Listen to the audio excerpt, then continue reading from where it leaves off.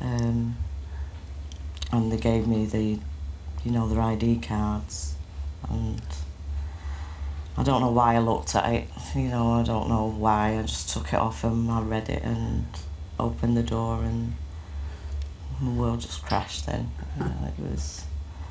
Um, they had to phone you, didn't they? Yeah, I because I couldn't. was at work. I couldn't. I had to phone Sarah, which was heartbreaking. Couldn't get up to Sarah. She's the oldest Um, sister, isn't yeah, she? she She's was 24, so very, the very closest to him. Yeah. to Lee. You know, she they was very close.